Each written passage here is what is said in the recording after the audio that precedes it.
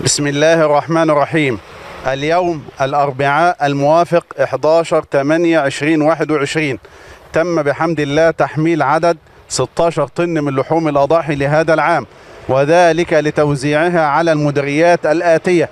سوهاج 3 طن قنا 3 طن الأقصر 4 طن الغربية 2 طن أسيوط 4 طن يتسلمها السادة وكلاء المديريات وكل عام وأنتم بخير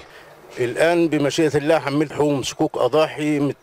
بتاريخ 11 8 2021